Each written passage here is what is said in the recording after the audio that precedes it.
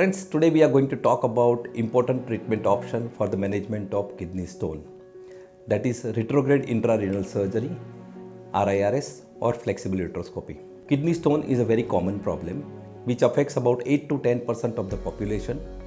Nowadays, it is very commonly found both in men and women and also sometimes in children. Kidney stones are also known to reoccur. So, whatever treatment option we offer to the patient, it has to be minimal invasive. It should produce excellent result with minimum discomfort to the patient. In retrograde intrarenal surgery, we pass a small flexible ureteroscope through patient's urethra up into the kidney.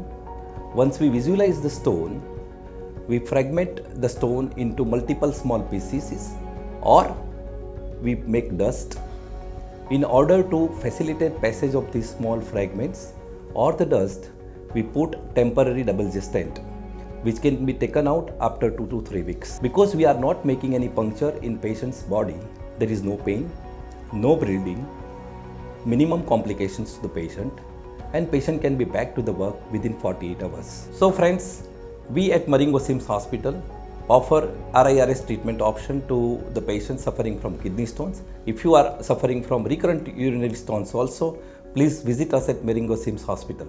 Thank you so much.